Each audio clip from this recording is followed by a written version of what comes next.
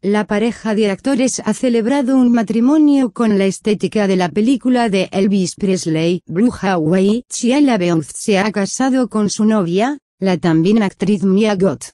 Pero no, no ha sido una boda normal como era de esperar de este intérprete, conocido por sus diversas polémicas y problemas con la justicia. Según el portal estadounidense de noticias TMZ, la pareja de actores se ha casado este lunes en una capilla de Las Vegas.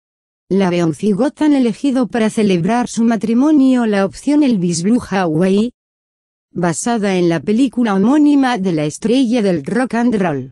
Según el medio digital, este lote incluye un oficiante disfrazado como Elvis, un bailarín de hula, seis composiciones florales de rosas, diez fotografías tomadas durante la ceremonia y un viaje en limusina, cortesía de la empresa Viva Las Vegas, desde el hotel. En total, 700 dólares, 630 euros. TMZ transmitió en directo la ceremonia a través de Twitter. Ella lució un vestido blanco corto con un fular en la cabeza a modo de velo. Y Shia LaBeouf un traje clásico con corbata, que conjuntó con unas zapatillas blancas de deporte. Ambos llegaron en un Cadillac rosa a la capilla, donde se anunciaba su matrimonio en una gran pantalla.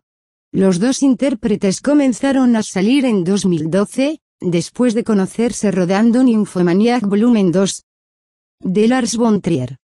Tuvieron una pelea pública en Alemania en 2015 que ocupó muchos titulares, pero la relación se recuperó y Miagot fue vista este marzo con un anillo de compromiso. Ver otros videos en el sitio 5la del punto de imagen.net.